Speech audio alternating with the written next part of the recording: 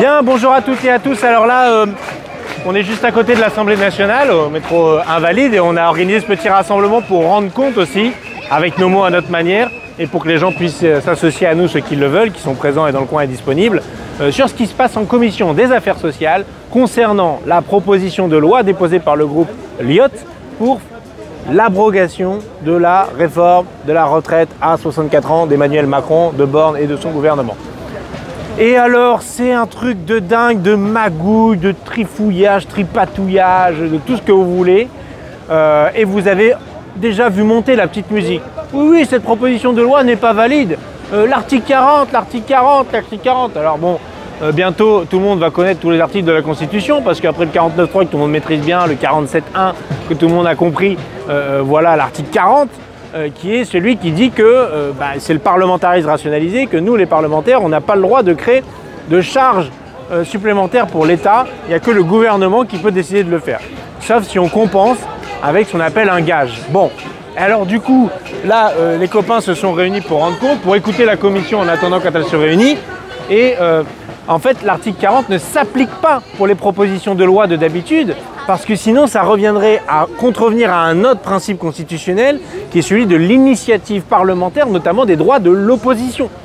Euh, parce que si vous faites ça, en fait, les parlementaires ne peuvent, peuvent, plus rien proposer, parce que tout, au final, coûte de l'argent. Et si vous n'êtes réduit qu'à ne proposer que des choses qui ne coûtent rien, donc il y a une tolérance euh, qui, est, faite là-dessus. D'ailleurs, plusieurs autres propositions de loi qui engageaient euh, plusieurs milliards d'euros. Je entendais tout à l'heure les socialistes qui avaient eux déposé dans une de leurs niches la proposition de loi pour abaisser le RSA. Euh, L'accès au RSA à partir de 18 ans, c'était une vingtaine de milliards par an. C'est tout à fait recevable. Donc, c'est, là, on est dans, euh, dans de l'interprétation, de la surinterprétation euh, de ce que permet, autorise ou empêche la Constitution. Sachant que le Conseil constitutionnel, bah voilà, il ne s'est pas prononcé pour l'instant. J'ai envie de dire aux macronistes, si vous pensez que c'est anticonstitutionnel, très bien, vous pouvez le défendre, mais laissez adopter la loi et puis aller devant le Conseil constitutionnel pour dire qu'elle n'est pas constitutionnelle. Voilà, faites comme nous on a fait. Hein euh, bon, même si nous on n'a pas voté, là on vous propose de voter. Non, finalement ce qu'ils ne veulent pas, c'est qu'on puisse voter.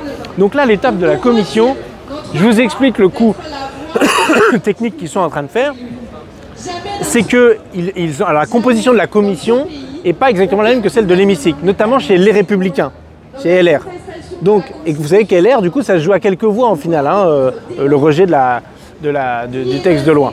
Et donc euh, là, ça, passe, ça peut passer en commission. D'ailleurs, c'est passé, ils ont fait passer la suppression de l'article 1, qui est l'abrogation de l'article 64, en fait, hein, euh, en tant que tel. Et euh, on a déposé plein de sous-amendements pour essayer de gagner du temps, expliquer, etc. Alors, la présidente de la commission des affaires sociales a d'abord refusé les sous-amendements comme ça sur son bon vouloir. Or, il y a un règlement, normalement il y a une procédure, c'est le bureau de la commission.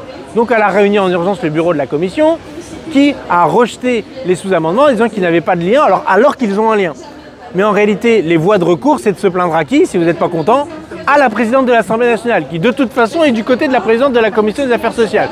Donc en fait, ils décident de ce qu'ils veulent comme ils veulent, au mépris de notre propre règlement, au mépris de la Constitution, juste parce que euh, ils ont un, un, problème politique qu'ils n'arrivent pas à régler, c'est qu'ils sont minoritaires dans l'hémicycle, en plus d'être ultra minoritaires dans le pays sur cette réforme des retraites. Donc ils tentent toutes les magouilles possibles et imaginables. Euh, euh, même les LR ont bougé euh, des gens qui étaient plutôt favorables, enfin plus sûrs, présents et favorables au, texte de loi. Les pressions en interne vont bon train. mais je peux vous dire pour la fin de la technique qu'ils emploient, c'est qu'ensuite, quand le texte de loi arrivera en séance publique, il n'y aura plus l'article 1 qui abroge la réforme des retraites à 64 ans. Et donc nous, on va redéposer des amendements pour rétablir l'article 1. Or, cet amendement, amendement, lui en tant que tel, ne, ne souffre pas de la même tolérance que, que, la proposition de loi en tant que telle, le, donc l'ensemble du texte déposé par euh, parlementaire par les oppositions. Donc en fait, déposer cet amendement, là, euh, euh, Yael va dire c'est irrecevable, article 40, parce que ça crée une charge. Et hop, du coup, on ne discute pas de l'abrogation de la réforme des retraites à 64 ans en ayant truqué le machin dès le stade de la commission. Voilà ce qui est en train de se, se passer là, euh, en commission. Bon, c'est à peu près scandaleux. Et moi, je vais vous dire un truc, c'est que derrière, il y a une possibilité quand même de motion de censure. La dernière fois, on a perdu à 9 voix. Et j'ai croisé des collègues des Républicains. Certains étaient quand même, je dois vous le dire, en train de dire bon, là, ça s'est recalmé dans le pays. Est-ce que c'est le moment de renflammer tout ça, de remettre 10 balles dans la machine? Je suis pas sûr, même si la dernière fois j'ai voté contre. Là, voilà. Mais ceux-là, là, ils m'ont dit aussi une chose.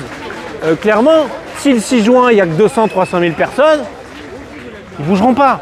Par contre, s'il y a à nouveau 1 million, 1 million 5, là, ça peut faire justement la bascule parce que tout ça va jouer à quelques voix. Donc la bataille qui se passe là, elle est directement liée à vous, votre implication individuelle et donc aussi collective à la fin dans toutes les manifestations du pays pour le 6 juin.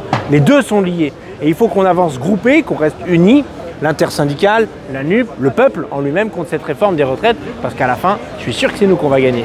Allez, à bientôt.